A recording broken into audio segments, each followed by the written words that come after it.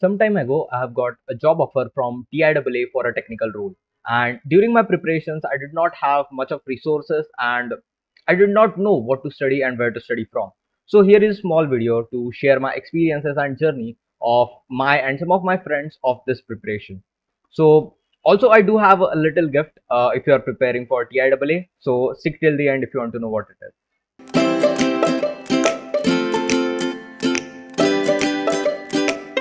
I will divide this video into four sections. Uh, so we'll firstly uh, start with looking at what the company does, uh, what is its history and what are its products and something like that.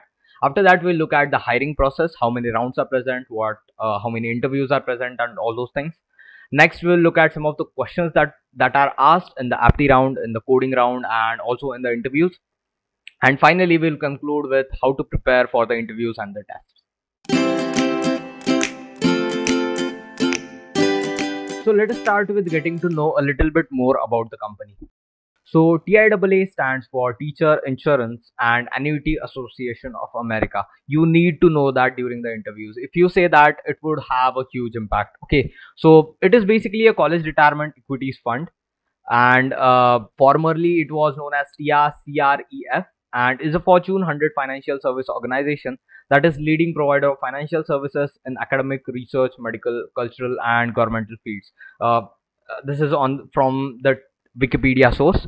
Also, TIAA has one trillion dollars in combined asset under management with holding in more than 50 countries. Okay, so the current CEO is Thasunda Duckett. I don't know if I'm pronouncing it right, and if you are seeing this video, sorry for, sorry about that.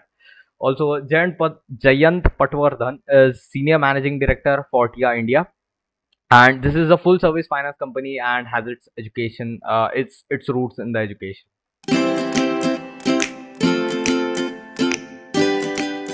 Now let us look at what the hiring process was for this company. So uh, this was the first time that TIAA came to our college, and it was of course an on-campus opportunity and the role it was hiring for was trainee. Okay so it was basically a software development and every company gives this gives their own name like system engineer or software engineer and things like that. So it was basically for software development. And it had three rounds for some people uh, the, if the interviewers were not sure if some person uh, is to be taken or not. In that case they would take uh, an extra round fourth round. And after those four rounds of interview the results were declared by the company so the round structure was something like this. Uh, the first round was an online test which was which included apti and uh, technical mcqs so uh, there were two sections for those and finally there was a third section for coding which included two questions. Okay. So uh, from this first round 30 students were selected for the next round. And the next round was a virtual interview that uh, the first interview uh, consisted of purely technical questions and all those things. And from the second round uh, 12 to 15 students were selected for the third round. Okay so the third round consisted of technical questions plus hr questions of somewhere around 70 to 30 percentage 70 percent technical and 30 percent hr questions. And from this finally eight students were uh, selected for the company and we did not have the fourth round. That is uh, they were sure about all the selected candidates so we will discuss about every round in detail in the next section. And uh, after selected you will receive an email regarding the selection. And there was some post selection procedures like you need to submit some documents and also there was some background verification and some things like that. So uh, this complete hiring process took, took approximately 15 to 20 days. And uh, 8 to 10 days were taken for the first round that is online test and apti and the result after that and finally the interviews uh, were consecutive of uh, for 3 to 4 days. That's it. And that was the complete hiring process for the company.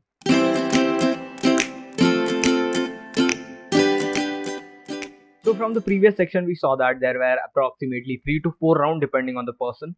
So now let us look at uh, each round one by one and see what were some of the questions that were asked. Okay so the first round was online round and uh, it included apti, logical reasoning and the coding questions. Okay. So the platform on which this online round was taken was CoCubes. This was new to us, but the test was very similar to other tests uh, of various companies. Uh, maybe it was service based or product based. All have uh, the first online round very similar. Okay, just the platforms are different, and with a few slight variations. Okay, so uh, the two things to keep in mind is that uh, the camera was on and it was also giving warnings if face was not detected. And secondly tab switches were not allowed. That is you cannot take any reference from google or anywhere. Uh, maybe it is for even if it is for coding questions that is syntaxes for your la particular language. Okay. So ta tab switches were completely restricted. Now after that if you look at what were the sections present in this test so the sections were uh, logical reasoning technical questions and the coding okay? So uh, if you look at in the logical reasoning questions uh, they were like train speed problems like uh, we say that uh, the train is crossing a man and both are with some x and y z speeds what is the time taken? And uh, maybe in some number system problem some stream reverse problem the boat is going upstream downstream find time required uh, maybe some calendar problems. So basically what i'm trying to say is uh, these were the standard aptitude and logical problems that were present uh, in these nothing too much different from those standard problems. Okay. So if we look at the second section that was of technical questions.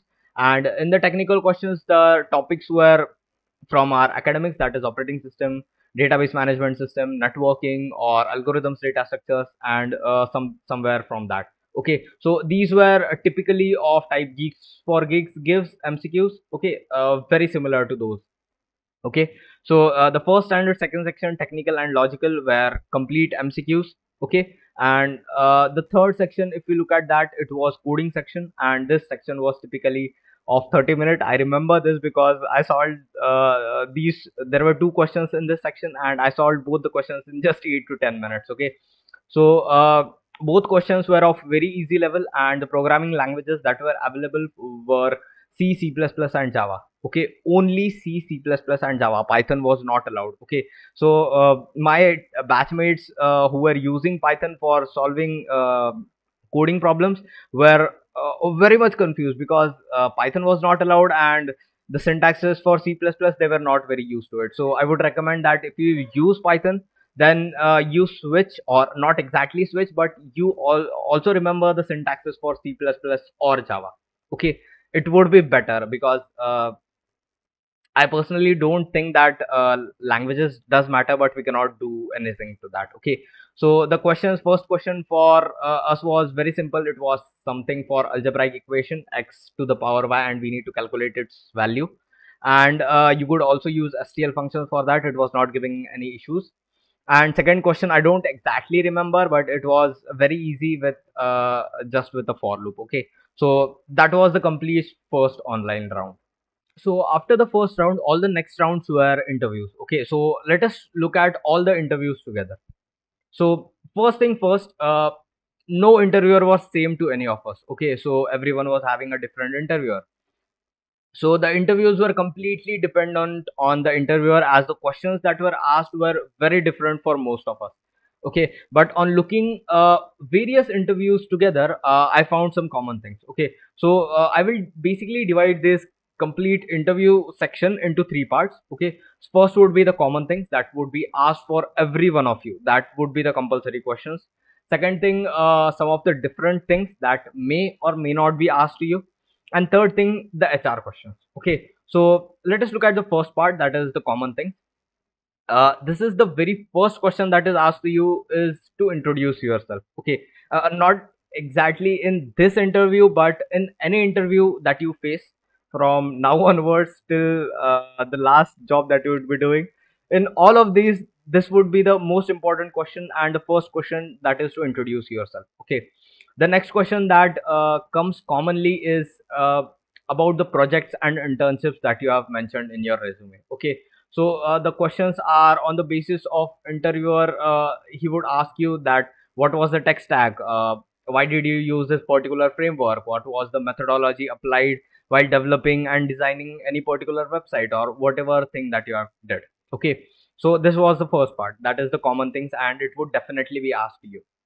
Uh, part two if we look at what were the different things there are two possibilities that interviewer might go from the first section. That is after discussing the projects and internships. That is either he would go to theoretical questions of your academics or he would jump to the coding questions directly. Okay there is also possibility that he might give some uh, brain teasers or something like that. That would come at the end of the interview. Okay so basically there are two possibilities. He would jump to theory questions or he would directly go to the coding questions so in the theory questions they would be uh, from your academics uh, on the basis of dbms object oriented programming operating system networking and something like that. Like they would ask what is normalization?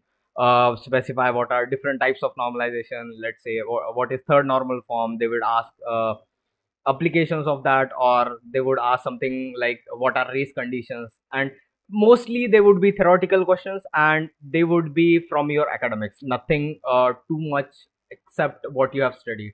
Okay? And uh, if you look at the coding questions they would be from LeetCode easy level.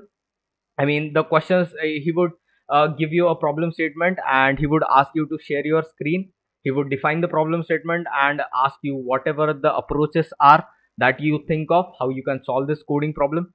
And after that he would ask you to co code that particular problem. Okay? So that would come in coding questions. And for brain teasers there is no limit. He can ask you anything. Okay. So these are the different things that uh, might come up. Okay. And finally if you look at the third section that is the hr questions. So uh, these questions would basically test your nature and what is your overall behavior. Okay. So some of the questions would be like why do you want to join this company? What are some of the problems that you faced while doing your projects? And how did you tackle them and what were some of the mistakes that you committed during your uh, projects internships or during your college time and all those things uh, or what are your strengths and weaknesses and something like that. Okay so that would come in the part 3 now after looking at parts of the interview let us look at how its distribution is. Okay so in the round two, that is the first technical interview, uh, part one is 30% of your interview and part two is 70%. If you look at round three, that is second interview, uh, it consists of part one of 30%, part two of 50% and part three of 20%. And for round four, uh, it is dependent on interviewer. We cannot say anything for sure. Uh, now that you have known the basic structure and how the interview goes, uh, it is time for the gift that I talked about at the start of the video. So uh, as you are preparing for TIAA, I have compiled a lot of interview experiences into a single spreadsheet so that you do not have to waste your time uh, in asking for everyone about the questions that were asked uh, for his or her interview and the online test. And how was their in, uh, interview experience? What were the resources that that they used for studying? And so here are some of 10 to 15 experiences uh, for the rounds they were selected for. And 5 to 6 uh, of them have got the final job offer including mine uh, interview experience and uh, so basically i will link this document in the description so do check it out. So now finally let us look at how you can prepare for this company. So uh, let us look round by round okay? So the first online test round we had three sections and uh, first was logical and aptitude. So for this section, I did not particularly study anything as I thought uh, these questions were very easy and obvious. The only thing to keep in mind for this section is that you need to manage your time very efficiently because uh, if you get stuck somewhere, you do not have to waste any time on it. You just skip it, which was the same mistake uh, that I did during my uh, online test and uh, due to which I could not solve last two questions from it okay so but still if you are not confident about this section then what you can do is you can solve rs aggarwal because many people have referred that and they have got uh, uh, much more confidence with that and if you just need to do revision you can just get a lot of material just by googling on it. Googling uh, on the internet okay? For the second section that we have that is the technical questions uh, i referred gfg geeks for geeks. Uh, what you can basically do is you can uh, take any particular topic like let's say operating system search for operating system mcq questions. And if you get uh, gfg questions then it is well and good. Uh, you can just refer that uh, the questions were of that particular type only. Okay? And uh, also do revise your academic concepts mainly operating system database management system networking data structures and algorithms and oops. These are few topics that are very important and uh, if you revise them it would uh, be very easy for you to remember the questions as you do not have to mug up these mcqs okay? And uh, taking an overview of them would help a lot. Okay next section was the coding section which had two questions and was of 30 minutes. Okay. So i personally believe that this section was the easiest one. And if you have ba basic understanding and how to implement the data structures like arrays strings stacks queues linked lists then it would be a piece of cakes. Okay. Uh, uh, mostly the graphs and trees would not be asked but it would be better if you uh, know that too. Okay. So uh, the questions were of easy level of the LeetCode and you can practice easy questions on every data structures that are present uh, on the LeetCode site at least i did from there. You can uh, refer gfg if you know how to exactly utilize the proper questions because gfg is very big and to get the proper important questions is very difficult. So uh, i prefer LeetCode rather than geeks for geeks. Okay. And also try to practice the questions in java or c++ because uh, some companies have problem with python. They think that uh, you python has lots of functions which do which uh, uh, which gives them problem to understand the students uh, problem solving skills okay? So we cannot do anything with that okay? So better start right now and learn the syntaxes for one of the two that is for java or c++ try not to go with c because it does not have object oriented so it is better to stick with c++ okay so uh, and also if you know the logic then it wouldn't be a very big deal to learn the syntaxes okay? So that was for the coding uh, round one. Now for the interview preparation uh, for the first part i would recommend that prepare beforehand how would you answer introduce yourself. So if you practice that uh, what exactly you have to say then uh, it would be very easy. Try to rehearse it four to five times uh, in front of the mirror or record yourself and look it afterwards and try to improve it on yourself okay? So that is very important thing. Afterwards while uh, presenting the projects or internship try to remember the star method. If you do not know what it is i will not tell you google it. I will not be explaining everything to you okay? So just google it what is star method and use that it helps uh, for the interviewer to understand you very clearly. Now uh, you need to know all the whys and hows of all the projects and internships that you mention in your resume okay? This is very important thing because if you have mentioned in a resume uh, in your resume then you should definitely know it. Otherwise it would go a meaning that you have just faked the projects or internships okay? So you should definitely know all the whys and hows of your uh, projects and internships so uh, for the part two, what you can basically do is uh, for the theory question, your revision for the first round that you did uh, for the MCQs would would be very useful here. Okay, so start revising the subjects and important topics that we have that is operating system, uh, database management system, networking, uh, object oriented programming, and uh, data structures and algorithms. Okay, so what you can do is you can just Google for top interview questions and then subject that is top interview questions operating system or uh, any subject that you want to prepare. And that would give you what you exactly need to study and what you are weak in. Okay.